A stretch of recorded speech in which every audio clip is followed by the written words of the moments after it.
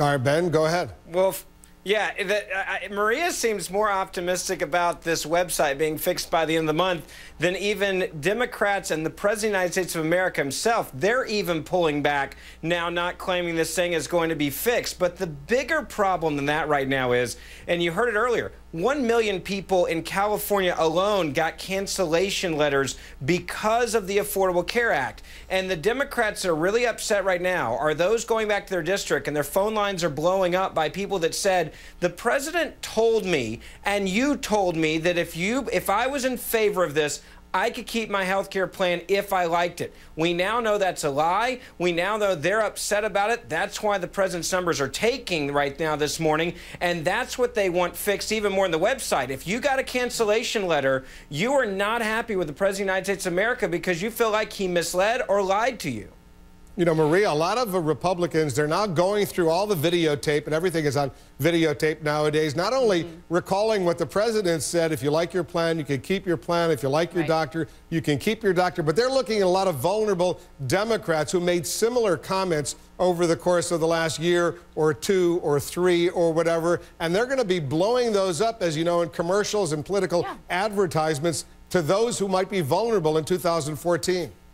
Uh, there's no question about that, Wolf, and that's why congressional Democrats are, are nervous, and they should be. I certainly uh, would be if I were in their position, and and they're furious, and and that outrage, I think, is the one that the president is is taking heed on, as well as the outrage of the people who are receiving those letters. I think the faux outrage here, Ben, and please, you know, spare me the, the Republican outrage that is going on on the Hill today, because instead of helping, instead of helping this president fix this, they have done everything that they can to defund, delay, derail, and destroy Obamacare from the moment it became law. so where was their outrage the, in the last 30 years the, when insurance those, companies were dropping people left and right? Where was their outrage when, look, when look, people were actually going bankrupt because they couldn't get the health care that they need? So let's try those to fix this. Points this is what right the president now, has uh, uh, promised. Those, let me say this. Let's let me say this. fix it. Those let's make talking sure the constituents points, get, right, those, on. get those okay. plans.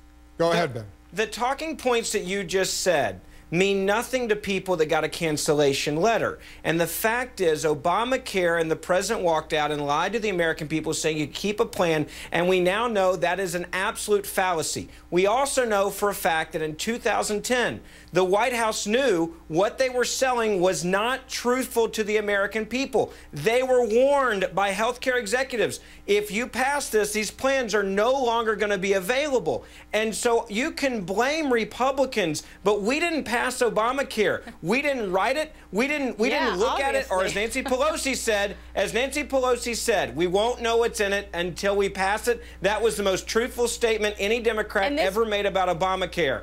And this president has apologized. He, uh, the HHS uh, that doesn't uh, matter if you lost your insurance. CMS has apologized, and so he is doing what he can legislatively or through administration fixes to make sure that those constituents are, are able to either keep their plans or receive better plans. What are the Republicans doing? Wolf, Again, the Republicans are Wolf, doing nothing other than trying to get true. rid of this law. Factually and this president is, Re frankly, with the American people who want it to work. So, so work with the, this president and help us end, make it I'll, work.